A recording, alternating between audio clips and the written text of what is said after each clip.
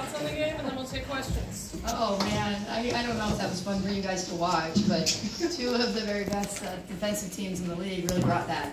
Uh, great atmosphere, both for both Duke fans and Carolina fans, which we expect for Carolina Duke game.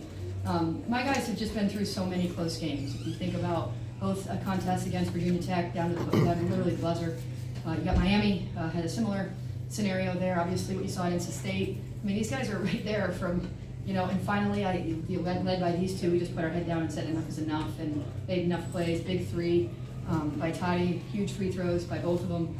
Um, obviously, game management by Deja. You know, just heavyweight fight, top 15 win on the road uh, to end the regular season. Carolina Duke, kind of made for TV, I guess.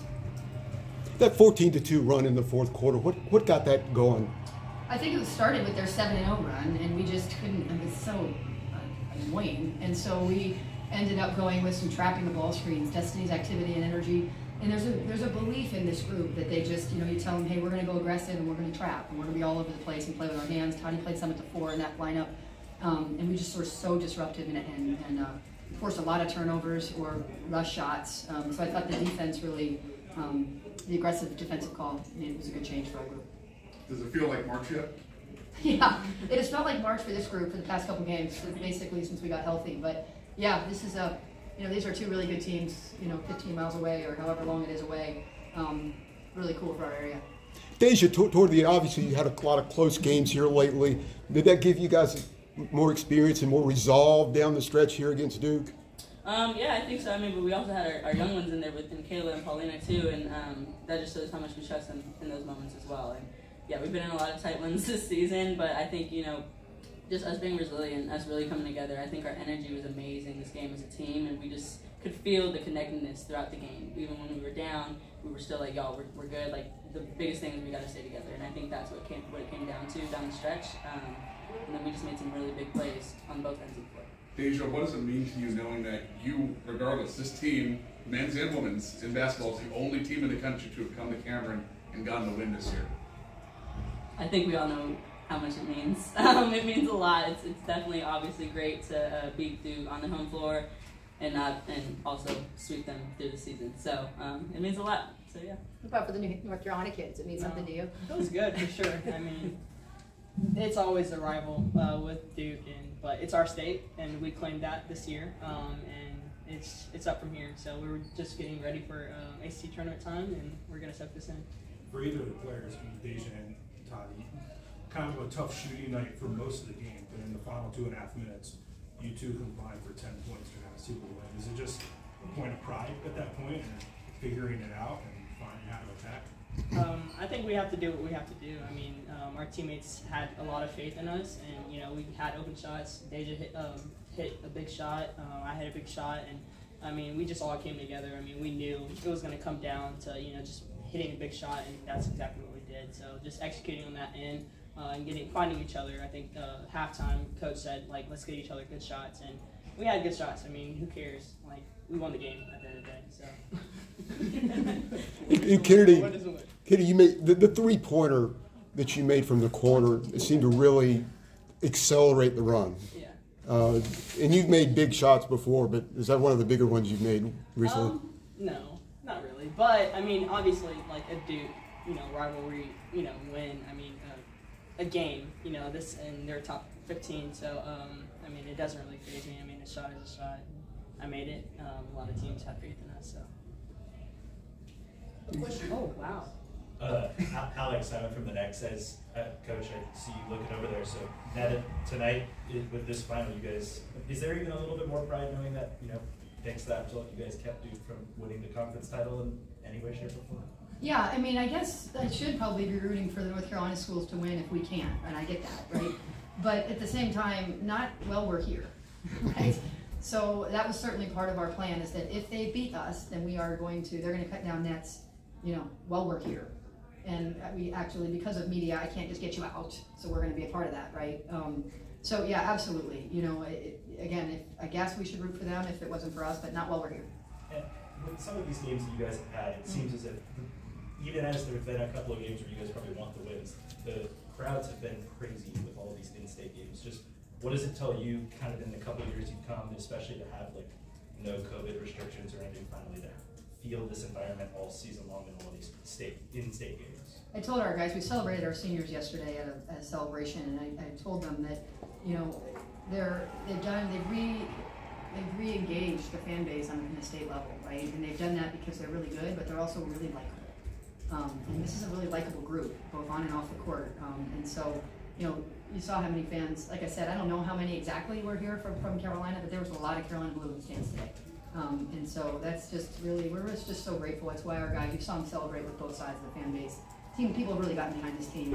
Um, they, anytime you get off your couch when you could get it on high def with great commentating, it means it really matters. So it's, it's great for our game. Courtney, the all turnovers, it seemed like more of Duke's turnovers were forced by your defense, and, and a lot of your turnovers were unforced. Uh, is that how you saw that? I mean, yes, I love I love you all, but I need you to take a little bit better care of the basketball. Um, but um, our yeah, we felt like the if, you're, if we're going to turn it over 21 times and, and shoot at 27% from three and 30% from the floor, you're going to have to generate turnovers. Um, I thought we did a really good job of that. Um, and then we were a little bit careless, played a little bit fast. You know, like Deja said, we got a lot of young guys in. I mean, I was looking at the, you know, obviously last game we played uh, Virginia Tech. They've got like six seniors. You know, we've got like, you know, Kayla. This is Kayla's ninth game playing college basketball, right? And it's uh, uh, Paulina just started her second semester, right? So these guys are young. We, you know, we're not having a lot of senior uh, senior playing time. So this is just such a valuable experience. I keep telling them, just just keep going, right? And it's, I'm really happy for them that it finally went their way. To the point about preventing you from uh, getting your Shirley seat title, uh, Mm. because of this win, because of the Notre Dame win, you're now locked into playing due to the court for Sunday. Yeah. Awesome. I mean, it, like, exactly. yeah, even better. I'm like, it's funny until our league's so crazy that I haven't even looked at who, It's like anyone that we play, we know is going to be an awesome opponent. Um, but how great for our state. I mean, Greensboro should have a really good crowd. It makes it easier for Mitchell too. He doesn't have to stay for both games. so you guys would thank us later. Uh, We made your night a little, uh, a little. But they have to. I, I don't know how it works. I think we have to get there. They're already there, or something. I don't really know. But uh, I know these guys are ready for March. They've, they've been through it. You don't like that answer. They've, um, we've been through it a little bit. So cool. So that means we play them on the second day. Is that what you're saying? Awesome. Can't wait. For Kennedy and Deja, this is the first time the Carolinas won four straight against Duke in 14 years. You guys were in elementary school then. What? What does that? What does that well, tell yeah, I did not know that. Um, so knowing that now, it's like it, it means so much. Um, it means so much more. Uh, and we just we know how important the, this tradition is, and that's you know part of the reason why we chose the school. We, we knew about the tradition, we knew about the rivalry. Um, so to be a part of it and to sweep for the past two years, um, I think that feels really good for us, and, and that just makes a statement. A question for the players. We were talking a lot about communication after the Virginia Tech loss. How do you feel like that came together in today's game?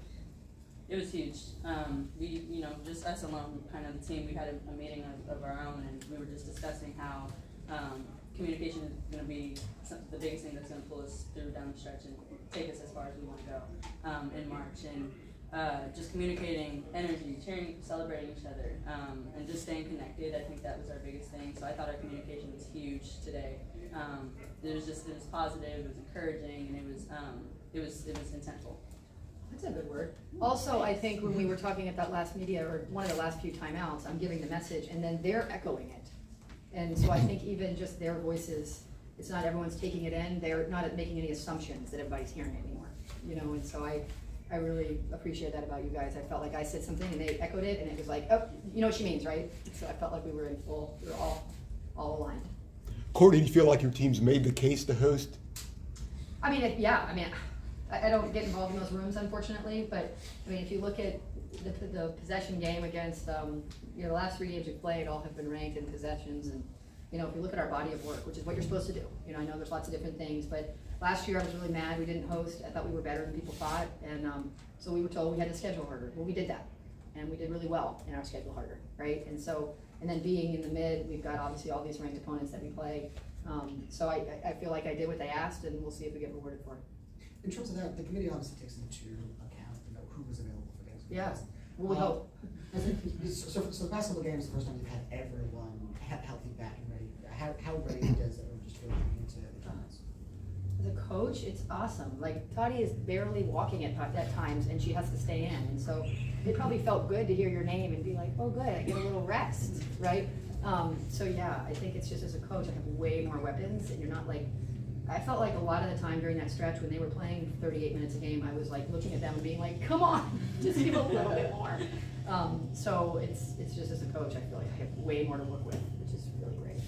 Deja, that's still a thirty-eight on that score sheet for you today. Guessing, you- do you feel like you can keep going right now if there was more basketball to play? or- I wouldn't have a choice, but absolutely. Um, yes, I, I definitely feel like, um, you know, maybe after a little bit of rest. Um, but You've all rested today and you've all tomorrow, that's enough. But it's if, enough. if you guys are wanting to accomplish big things in Greensboro, you guys are gonna have to play four in a row at this point where you guys are. Do you feel as if this team's kind of got the depth now and have got people back in to be able to make that type of a run if you guys can? Absolutely, and it's just a mentality, you know, that we know that we can, we are more than capable, capable of making it far and winning a championship, honestly. So, um, yeah, it's just a mental thing. No matter how many minutes we play, doesn't matter. But the back-to-back One game, win. for sure. You know, I'll manage their minutes as best I can. You know, it's surviving in advance, so it's, I've gotta be mindful of that, but, um, my hope is, is that we can manage their minutes a bit and use our depth, for sure. Did you Cool. want to ask specifically on that last play where you were able the foul, to the line, just what were you seeing there? Um, yeah, I, she was playing really close on me um, with, when the clock was running down, so I knew that she was going to reach at some point. Um, and I used that to my advantage, so I attacked her hips, and um, she fouled me, and then just going to the free throw line, you know, I was able to take a- take a deep breath.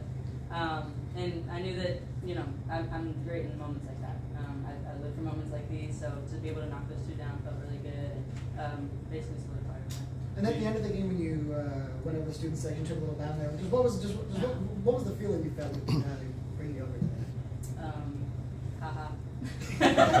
that was the feeling I was feeling. I think we all know why, but yeah, haha. Talking about, talking about having to win four in a row in Greensboro, obviously you're going to have fans there. We saw it happen. You're going to have a large number of Carolina fans there. Just talk about how that could help fuel a, a title run for you guys. I just, it- as a coach, it can be a lonely enterprise, right? Because you're, you have all these individual relationships and all that, but on game day, when you walk out there and you're, you're behind your bench is packed and, and across the way is packed, you just feel like you're not alone, you know? It's, it's really great. So if we can get people uh, to get to Greensboro, um, which we expect we will, um, that will really help, you know? Um, I think the other thing that I've, I've kind of noticed all year that we talk about Deja's kind of ability to score the middle of the floor, her mid-range and all that, it's really her, her handle, right? So Celeste can't contain her without her, right? So it was Shy, or, no, it was, um, was Shy the one guarding you in that last? Um, you know, she just has an unbelievable handle. So none of us would like to guard Deja in that situation, not because of her mid-range, but because I have to first try to get her away from her mid-range, which means I have to try to take the ball, which is, we all know isn't easy. So you put a lot of, all those hours doing this, you know. Deja, so I was just gonna follow up on the, you know, the question about the foul. You drew seven fouls today, um, and two in kind of key moments there in the last two minutes. Is that a skill? Is that something you try to refine, drawing fouls? Definitely a skill. Um, I take pride in that because just because I know how people are going to play me, they play me really tight. They try not to let me really see daylight. Um, so I just basically try to use that to my advantage. And um, if you reach, if you're playing super aggressive, I'll try to get to your body and um, really just take advantage of that. And yeah, it's definitely a skill that I've, I've developed. Courtney, they- they- they're the one of the best defensive teams in the country. Seemed like you handled their press fairly well, but they were disruptive in half court. How did they disrupt your offense? They're just, they're, they have multiple elite defenders. Sort of what I, I think about our group. It's like, you can't be a great defensive team if all you have is, if, if it's always, you know, the, the group. You need certain guys. I mean, Celeste, again, Toddy, I don't think she likes playing against you. She had six points, she had nine turnovers, you know, you just, you have to have great defenders. So they've got multiple great defenders.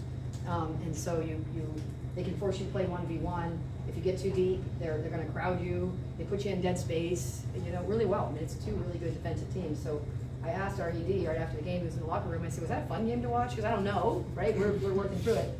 Um, but if you're a purist, you got some, some of the best defensive play on, on the season from two really good teams, in my opinion.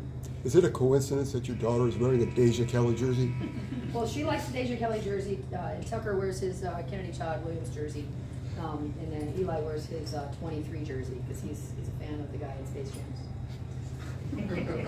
Coach, wanted to talk some about, you touched on this earlier, just the trust that you had, and especially playing Kayla, you know, you said she's played less than ten games, and we're Yeah. talking after the Virginia Tech game, and, you know, she's young, um, kind of like messed up a little on the switch there, but what were the conversations like between then and now to be able to trust her to play in the late game, so Yeah, you can't play, you can't play on in a program where you don't feel like the coach trusts you, right? And I can't play kids that I don't trust, right? And so the ultimate show of that is, is how much they play, right? And, and when we need them. And so I just made sure that Kayla knew that, that we, I trust her. You know, I, I trust her and I assume her teammates do too, but, um, I do, just like Paulina and Des, I mean, those three were in at the last five minutes of the game, all three of them, you know? Um, and so I just made sure she knew that you're not, you're not defined by one play, because if you are, let me pick a play right? Um, but it's, you know, we trust you, and sometimes when you're going through it, you don't trust yourself, and so you assume the coach doesn't trust you, right? Uh, so I made sure she knew that I, I trust you, um, you know, and, and she, she played Kayla McPherson basketball today. To wrap it up, please, guys? Um, so it was, it's the lowest, um,